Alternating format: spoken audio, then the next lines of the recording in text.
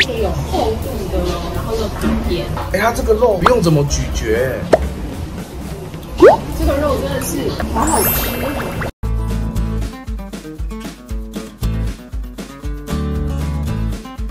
嗨，回来回来吃货日常，我是艾斯威。我今天啊来到家里，然后我带礼仪就是看什么行走的女艺人。我们来到家里呢，就是要吃开一堆美食嘛，家里的美食超多的。然后这个已经是我们的第二站了，我们第一站是去吃家里霸王，那已经拍过，所以我就没有跟大家分享。那在第二站呢，就是一个好朋友推荐的，他说是家里牛肉汤的扛把子顺福，等等在这边。然后我们就来吃吃看看这间牛肉汤好不好吃啊，Let's go。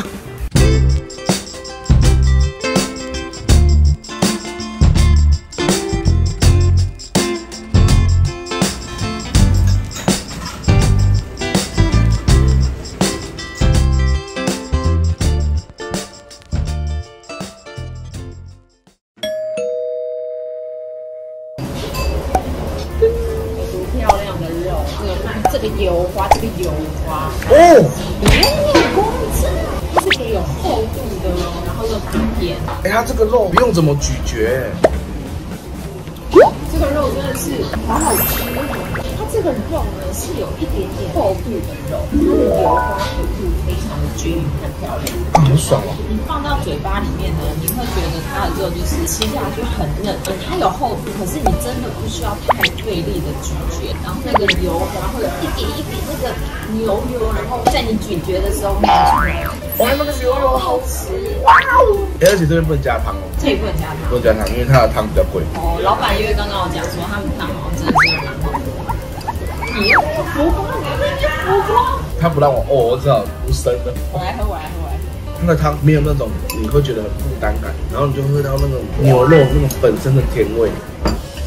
哦，我觉得它牛肉汤的口味算是对我来说是偏重一点点，因为有一些是蔬果底的哦，对对对对，对，然它是后我以前牛大骨。我以前就是比较喝偏蔬果底的汤，因为我个人喜欢清淡一点的，但是我觉得它的汤头其实算浓郁的，嗯可是浓起来确实清爽的。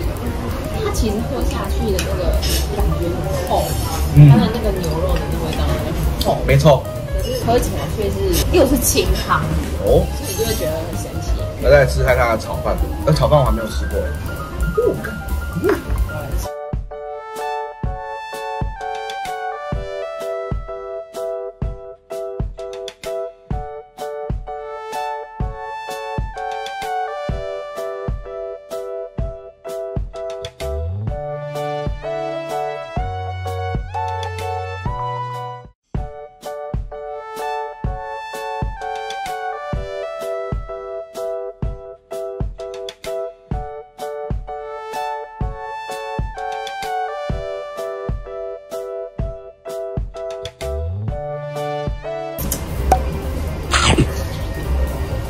炒饭的肉也是没有在跟你开玩笑的，那一盘炒饭肉多少？天吧，它牛肉炒饭的肉真的给的很多哎，这个是已经被我挖了好，大家已经分食过了，而且它的肉也好嫩哦，很嫩，很好好吃哦。老板的肉都给的很大块，然后又有一定的厚，老板的肉，老板的肉好吃哦，然后它的这个牛肉啊，它牛肉也是有调味过的，有腌一下，对，腌过，所以这碗炒饭吃起来算是蛮有味道的炒饭。好吃。嗯，哎，它是湿的炒饭，可是它又没有那种糊在一起，它的牛肉真的很好吃，真的好吃。大家如果来家里的话，一定要来这家店，真的喝牛肉。它牛肉真的好吃，真的好吃。就是不是那种薄薄小小的不是牛肉，，哎，它是手切的，所以它厚度。好，我把它吃一吃吧。好啦，那我们吃完啦。吃完了感受是什么呢？我们刚才完全不知道我们的四目鱼小开点了什么，结果他是帮我们点了顶级的，然后那一碗是四百块的量，然后炒饭呢，它原本是两百块，然后再多加了一百块。为什么他要加一百块的肉，并不是因为他想要吃肉，而是因为这边都是温体牛肉，有没有？所以多一点肉呢，它的那种自然的甜味会让饭更好吃。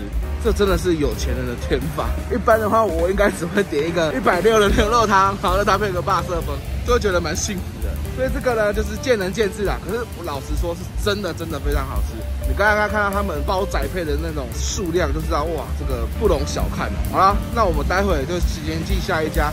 如果还有什么推荐的牛肉汤或是家里美食的话，在底下留言告诉我。我们每周都是晚上八点准时上片，下面见，拜拜。